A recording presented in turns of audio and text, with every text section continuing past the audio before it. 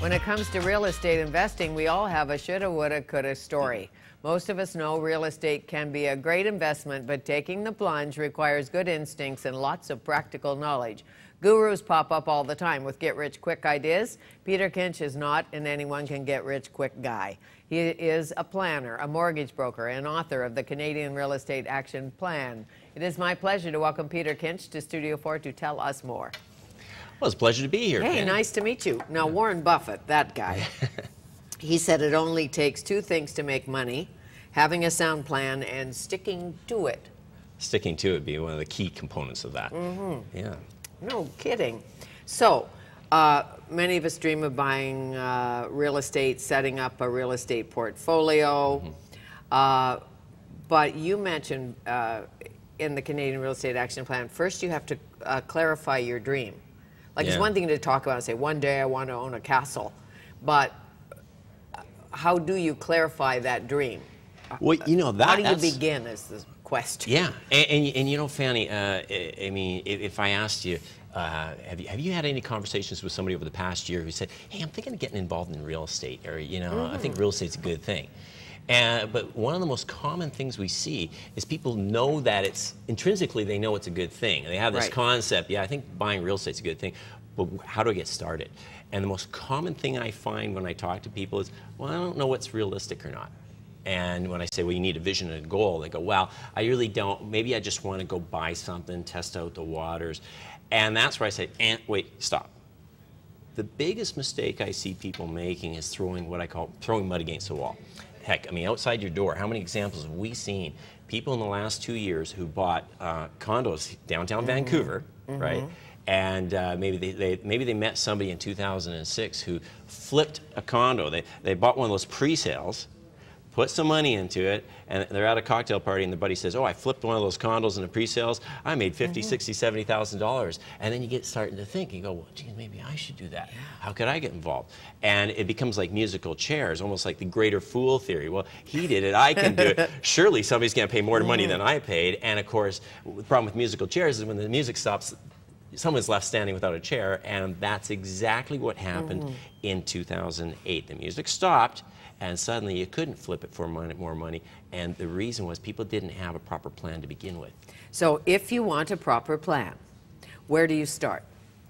Well, what, What, I questions do you ask? The, the first thing I, I ask my, my clients when I'm working with them, somebody will come up and they'll say, "Hey, I want to buy some real estate. I want a mortgage." And I said, "Well, wait, wait a second.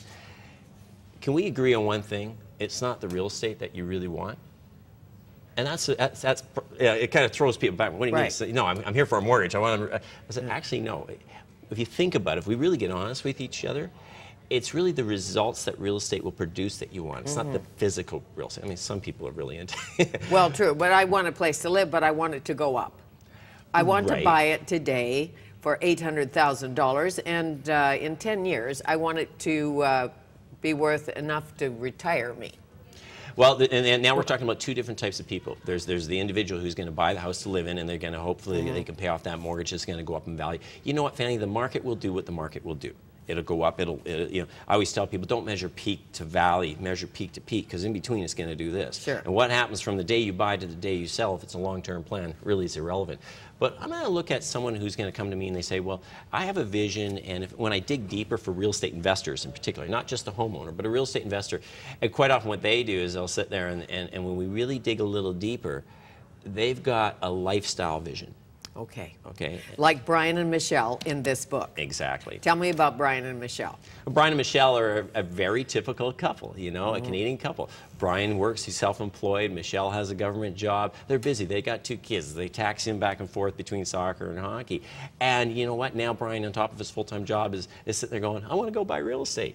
And Michelle's going like, no bloody way. Yeah, Yeah, yeah, Where are we going to get the time? Where are you going to Mm-hmm. get the money? Hey, that equity, we got equity, but that's that's more just luck in the market rather than brilliance on your part, Brian. Yes. You know, how many couples are having this conversation across Mm-hmm. Many. Canada?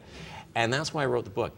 It was to, to, to target them and say, look, okay, before you take that hard-earned equity, which may have been a gift from the market, and, and, and before you take it and just throw money against the wall and hope it sticks, sit down and ask yourself, what results do you really need from the real estate you're going to produce? When I, and when I ask that, what's really it's fascinating, Fanny. Sometimes I'll ask somebody and say, tell me what results, and, and let's forget about the reals, forget about what you're planning to buy. Mm. What is it that you really want? And when I get into dealing with couples, to be honest, I've been working with thousands of couples across Canada, and it's powerful for me as a mortgage broker because I go, wow, people really have amazing visions and, and, Sure. and- and goals. And it gave me a vision that if I can help them accomplish their goal, mm-hmm. then we, we build a plan. So I started doing workshops where we actually build a three phase action plan, and I do what's re- recalled a reverse engineering approach. Start with the end result in mind. Work backwards, identify the obstacles you're going to accomplish, uh, uh, encounter, Right. and then put together a three-phase action plan to overcome the obstacles. But every decision you make is in the context of the goal you're trying to accomplish. Okay, so the three-phase action plan is what? What are the three phases? Well, phase one, I break a, a five-year. I, I- I said, well, let, us say, what are you going to accomplish over the next five years? You could be, every individual will be different. It could be five, Right. 10, 15. Sure. Now let's break that down into uh, instead of saying, well, I'm going to have a five-year goal. Let's break it into 18-month segments. So the first thing I'm going to do is I'm going to say, well, obviously, if you're going to buy real estate for investment purposes, we've identified the why. That's 1st Mm-hmm. Okay. Uh, I want this end result. Let me give you an example. A couple I, I dealt with in Calgary retired, they're 65 years old, and they sold their company. They got lots of cash. And they were thinking of buying some property in Parksville, and they asked me, oh, is this a good investment? I'm like, I don't know. Tell me what your reason is. What do you want? Well, when I dug deeper, they were looking to develop wealth to transfer to the next generation. Oh, And I thought, well, that's interesting. That could be 10, 15 years uh, goal, right? And, and it's a foundation for future generations. I like that. Now, uh, raw land in Parksville that has the potential for rezoning, redevelopment over 10, 15 years, possibly, with all, you know, without knowing more about the details, that could be a potentially good investment for that particular couple.